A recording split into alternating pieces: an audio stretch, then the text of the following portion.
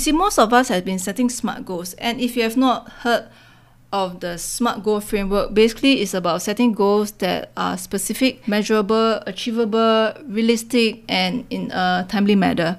So, SMART is a pretty good framework to follow, but how many people actually do achieve their SMART goals? So, what I'm going to suggest is to make some enhancement, and this suggestion are the same which I teach my clients because based on the framework that I teach, my clients achieve 50,000 of commission in 3 days, extra 44,000 in 6 months and uh, unprecedented pay increment. So you see, setting goals are as easy as A, B, C. I teach more about the A, B goals in my webinar, but really what you need to know is the C goals.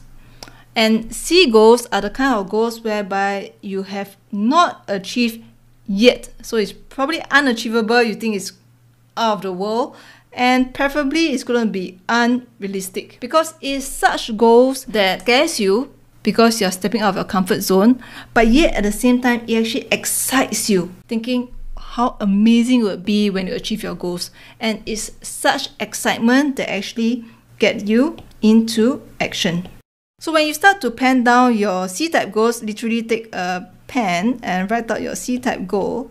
And as you write it out and share it with a close friend or a partner, and they look at you thinking that you've lost your marbles, you know you're on the right track. So the goal that you're setting, the C goal, it should be something that you have not achieved yet, preferably unrealistic, because this is whereby you will really get excited about it and that drives you into action. So now that you understand one small piece of the framework from a high level overview, if you'd like to dive deeper and gain a full understanding of how to apply this inside of your life, click on the link below, register for my upcoming training that goes into the full details of our entire framework.